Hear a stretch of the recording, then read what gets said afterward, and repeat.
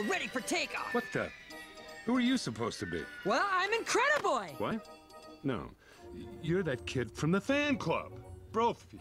Bro, Brody. Bud. Buddy. Buddy. My name is Incrediboy. Look, I've been nice. I've stood for photos, signed every scrap of paper you pushed at me, but this No, no, no. You don't have to worry about training me. I know all your moves, your crime-fighting style, favorite catchphrases, everything. I'm your number one fan.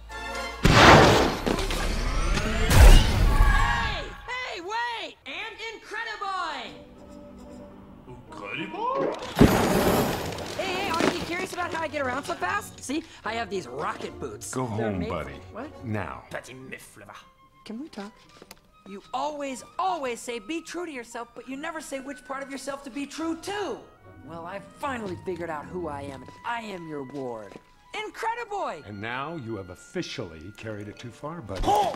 This is because I don't have powers, isn't it? Well, not every superhero has powers, you know. You can be super without them. I invented these. I can fly. Can you fly? Fly home, buddy. I work alone. Oui, et ta tenue est complètement ridicule. Just just give me one chance. I'll show you. I'll go get the police.